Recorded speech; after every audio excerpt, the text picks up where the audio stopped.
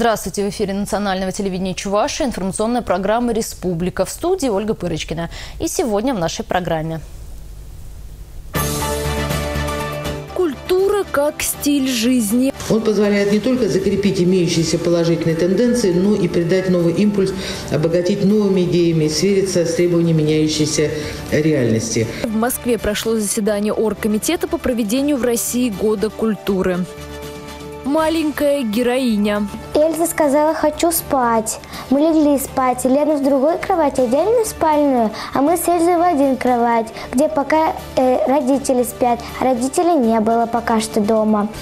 Я ложилась, чтобы Эльзу уснуть, и сама тоже вместе уснула.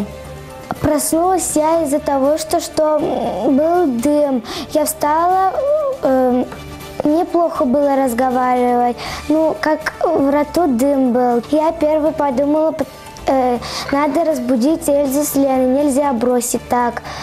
Э, своих сестренок. Десятилетняя Оля Ярисова вывела из горящего дома своих сестер. К наплыву дачников готовы. Составность будет в будни два вагона, в праздничные дни три вагона – как горячий сезон скажется на работе железной дороги. Что год культуры нам готовит? Сегодня в Москве глава Чуваши принял участие в заседании Оргкомитета по проведению в России Года культуры. Помимо глав регионов и федеральных чиновников в заседании участвовали и деятели культуры. Марк Захаров, Владимир Спиваков, Илья Глазунов, Олег Табаков и другие. Главная задача, по мнению членов оргкомитета, это дальнейшее масштабное преобразование в сфере культуры. Необходимо приложить все силы и сделать так, чтобы даже в самом дальнем уголке нашей большой родины люди смогли видеть своими глазами шедевры отечественной культуры. Из Москвы наш корреспондент Дмитрий Ковалев. Последний раз члены Оргкомитета по году культуры собирались только в октябре. И вот спустя полгода в Москве было решено провести расширенное совещание. Министерство культуры пригласили известных артистов, режиссеров, директоров федеральных телеканалов и региональных чиновников. Возглавила это заседание председатель Совета Федерации Валентина Матвиенко. Она отметила, что год культуры стартовал эффектно по всей стране. Жители многих регионов уже успели оценить шедевры искусства, которые были привезены на выставки даже в удаленные города. Но в плане оргкомитета еще множество масштабных фестивалей. Они удивят даже самых искушенных зрителей. Но год культуры – это не только зрелищное мероприятие, подчеркнула Матвиенко. Скоро будет принят новый федеральный закон о культуре. А каждые пять лет в стране и вовсе планируют отмечать юбилеи года культуры. Вот такие наполеонские планы. Это вовсе не изобретение велосипеда. Такой формат применяется за рубежом, в том числе и в Организации Объединенных Наций. Он себя хорошо зарекомендовал. Он позволяет не только закрепить имеющиеся положительные тенденции, но и придать новый импульс, обогатить новыми идеями, свериться с требованиями меняющейся реальности.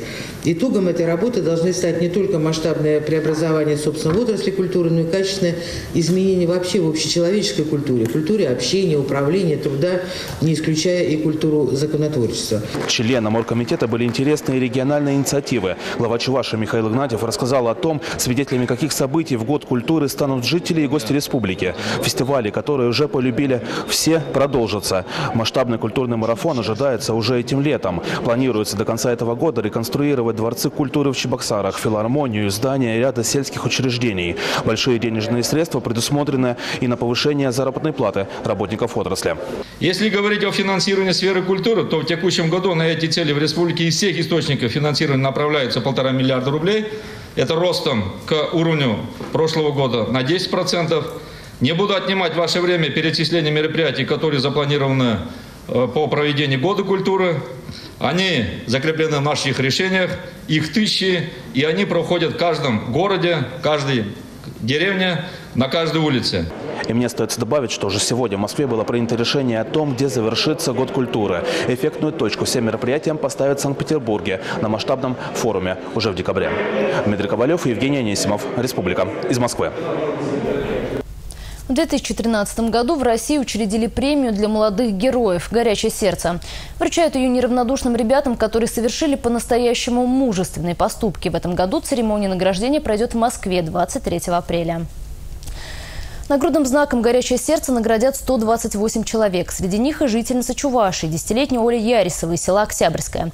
Она вывела из горящего дома своих сестер. Подробности в сюжете. Раз, два, три, четыре, пять, Она постоянно улыбается, мечтает стать учителем танцев и обожает играть с сестренками. Примерно так же девочки веселились и 13 сентября 2013 года.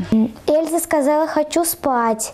Мы легли спать. Лена в другой кровати, отдельно спальную, а мы с Эльзой в один кровать, где пока э, родители спят, а родителей не было пока что дома. Я ложилась, чтобы Эльзу уснуть, и сама тоже вместе уснула. Проснулась я из-за того, что, что был дым. Я встала, э, неплохо было разговаривать. Ну, как в роту дым был. Я первый подумала, э, надо разбудить Эльзу с Леной, нельзя бросить так. Э, своих сестренок. Сестры убежали к соседям в одном нижнем белье. Признаются, было жутко страшно. Оказывается, загорелась старая электрическая печка, обогревающая дом. Родители, которые уехали по делам в столицу республики, узнали о пожаре по телефону. Мама до последнего не верила, что горит именно их дом. Потом обратно, когда уже приехали, она видит, что огонь уже там пламя выходит, видно уже, э, оттуда с дороги уже, когда приезжали. И когда приехали, она с машины уже вышла и в обморок упала. Сейчас Ярисовы живут в квартире родственников. Недавно в семье появился наследник. Свой первый день рождения Федя будет отмечать уже в новом доме, строить который помогает все село. А пока провожает отважную сестру в Москву. Нарядное платье, белые банты и фотоаппарат легко умещаются в скромной сумке. Честно говоря, брать с собой особо нечего. Все вещи сгорели, да и в них ли счастье.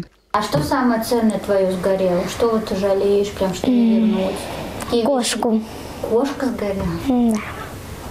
Олей гордятся все, кто ее знает. Да и сама она, пусть и не скромна, но считает себя настоящим героем. Потому что с Эльзой Лену спасла. Если бы их не спасла, э, они бы больше не были. Ну, когда мы уезжали, мы всегда говорили Оле, ты остаешься за старшего. И все ответственность ну, на тебя уже. Чтоб, когда уходить будете, например, все у тебя спрашивали там, и чтоб ты знала, куда дети уходят или кто-нибудь. Вот это все наказывали ему, чтобы было все хорошо, чтобы дома. Она за все отвечала. Мария Шоклева, Андрей Шоклев, Республика. Sen mi kaçak sayıklar mısın? Bir yıl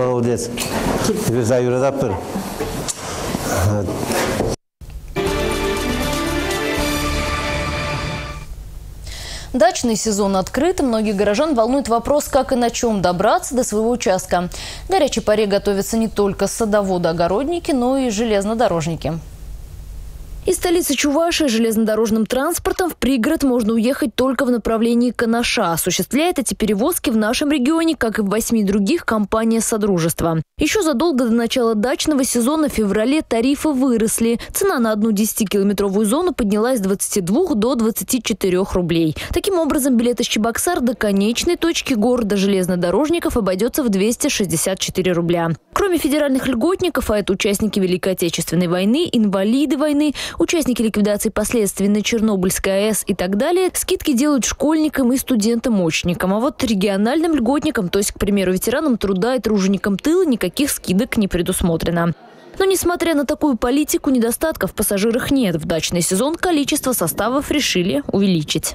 С 15 апреля, то есть с начала дачного сезона, составность будет в будни два вагона, в праздничные дни три вагона. На сегодняшний день считаем это достаточно. Для обслуживания пассажиров у нас установлено два билет-печатающих автомата в фойе, будем говорить, вокзала. И такого ажиотажа, будем говорить, в приобретении билетов, оформлениях на сегодняшний день ничего нет.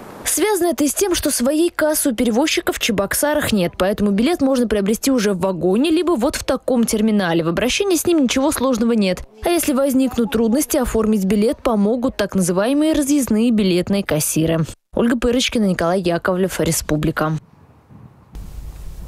Антимонопольная служба Чувашии подвела итоги за первый квартал 2014 года. За три месяца в управлении поступило 204 заявления о нарушениях антимонопольного законодательства. После тщательных проверок было возбуждено более 30 дел. В Новочебоксарске несколько лет бюджетное учреждение неправомерно взимало плату за выдачу разрешений на землеустроительные работы и за присвоение адресов номеров объектам недвижимости. Антимонопольная служба обратила внимание на незаконность действий учреждения. В законе нигде не сказано, что эти э, э, действия органы местного самоуправления должны осуществлять за плату. Соответственно, это определенное э, административное бремя, административный барьер для предпринимателей, э, который устанавливали городские власти для того, чтобы обеспечить доход, незаконный доход для бюджетного учреждения. А вырученные средства пополняли даже не бюджет города, а карман созданного учреждения. Сейчас по предписанию антимонопольной службы все решения отменены. Перестали взимать плату за выдачу разрешений на землеустроительные работы. И более того, те, кто до этого платил за подобные услуги, сейчас могут вернуть свои деньги в судебном порядке. Среди нарушителей антимонопольного законодательства руководители муниципалитетов встречаются нередко. Так, по данным УФАС по в Урмарском районе земельный участок был предоставлен предпринимателю для строительства киоска а бизнесмен решил возвести капитальное строение. Таким образом, произошло нарушение прав других предпринимателей, которые тоже могли претендовать на этот участок. Создание преимуществ отдельным предпринимателям с нарушением публичного порядка предоставления земельных участков нарушают конкурентную среду.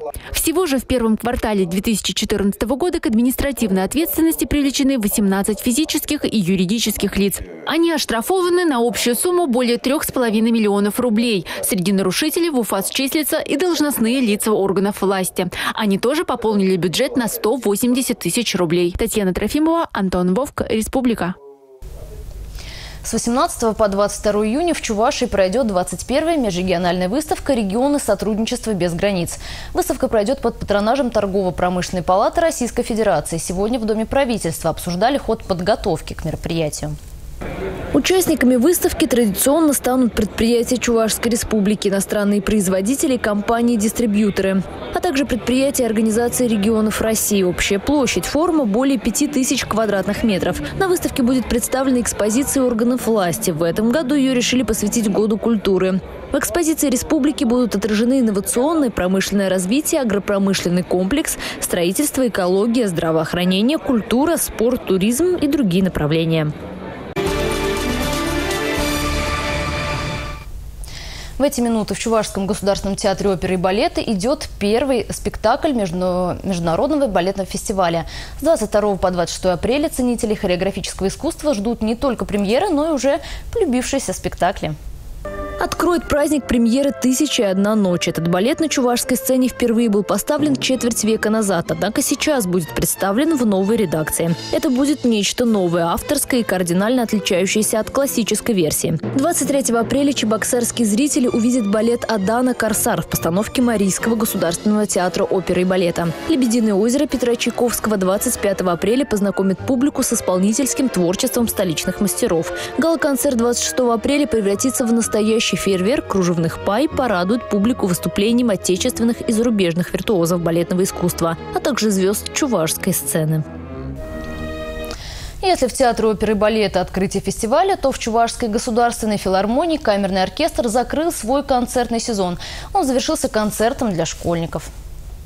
Камерный оркестр – небольшой коллектив. Обычно в нем состоит от 4 до 12 музыкантов. Ядро оркестра – ансамбль исполнителей на струнных инструментах – скрипках, альтах, виолончели, контрабасе. Камерный коллектив Чувашской филармонии основан в 1989 году известным дирижером Валерием Бажоровым. В первый состав оркестра старинной и современной музыки вошли выпускники Казанской, Саратовской, Нижегородской консерваторий, а также Чебоксарского музыкального училища. Сейчас коллективом руководит скрипач, выпускник Нижегородской консерватории Сергей Григорьев. Григорьев. 21 апреля в зале филармонии собрались ветераны и учащиеся общеобразовательных школ. Зрителям были предложены необычайно яркие, но совершенно не похожие друг на друга произведения Баха, Вивальди, Моцарта, Пабло де Сарасаты и Глиера. В литературном музее отметили 100 лет со дня рождения народного писателя Чувашии Хведера Уяра, автора исторического романа «Тенета». Федор Ермилович Афанасьев родился в 1914 году в Самарской губернии. Учился в Хабаровском педучилище и Чувашском педуниверситете. Его первые произведения были напечатаны в 1930 году в журнале «Капкан». В 1956 году будущий народный писатель переехал в Чебоксары. В Великой Отечественной войны писатель находился в рядах действующей армии. За проявленные мужество и отвагу награжден боевым орденом и медалями. Хведер Уяр – автор многих рассказов, очерков, путевых заметок, воспоминаний. Он известен известен и как переводчик. Им переведены на чувашский язык рассказы Чехова, Гарина Михайловского, Габриловича и других. Одним из лучших произведений Хведра Уяра является роман «Тенета», представляющий широкую картину жизни, труда и классовой борьбы в чувашской деревне накануне Акрамовского восстания 1842 года, в котором принимали участие чувашские, марийские и русские крестьяне. Роман был переведен и на русский язык. Умер писатель в 2000 году. Он был какой-то непрактичный, и в основном все вот хозяйство всегда все было на маме. А он в основном занимался своей литературой и читал, и вникал. Таким был этот день глазами корреспондентов программы «Республика». Далее вы узнаете о победителях региональной бизнес-премии. А я, Ольга Пырочкина, с вами прощаюсь. До завтра. Чебоксарах прошла первая ежегодная региональная бизнес-премия 2014. Стали известны лучшие компании, которые выделяются не только качеством своего продукта, но и являются лучшими благодаря высокому стандарту клиентского сервиса. Специальная экспертная комиссия, опросив жителей республики, определила самых достойных номинантов. Их оказалось ровно 100. В торжественной церемонии награждения лауреатов приняли участие официальные партнеры и спонсоры данного проекта, а также члены экспертной комиссии. Генеральным партнером выступила компания «Телетрейд». Она произвела розыгрыш чеков номиналом 1, 2, 3, 5 тысяч долларов. Мы очень рады поддерживать такие проекты. Наша флагманская задача – это дать всем предпринимателям, бизнесменам и управленцам новые инструменты для развития бизнеса. Поэтому присоединяйтесь к компании «Телетрейд». Я уверен, вместе мы станем успешнее. Сегодня мы на премии открываем новую тему – это клуб добрых дел. И поэтому мы сегодня заявим об этом и хотим, чтобы все компании, которые, которым интересна тоже социальная миссия, присоединились к нам, поддержали нас. И мы вместе бы с ними все это сделали. Проект новый, очень хочется, чтобы он прижился у нас в городе, и данная премия стала уже традиционной, так скажем, да. Вот. Развитие бизнеса и в целом же республики – это очень ответственная часть. Я думаю, что каждая компания, организация должна способствовать этому ну, в силу своих возможностей. В рамках региональной бизнес-премии 2014 выделено 20 номинаций. Награждены лучшие по направлениям производство дверей, салон красоты, страховые компании, кинотеатры, автосалоны, автосервисы, медицинские центры, аптеки, окна и другие. Компания «Телетрейд» не понаслышке знает про высокие стандарты клиентского сервиса. На протяжении 20 лет является лауреатом многочисленных премий. Компания года «Лучший брокер в Европе» имеет более 300 представителей в 22 странах мира. Лозунг «Телетрейда» – деньги, свобода, будущее.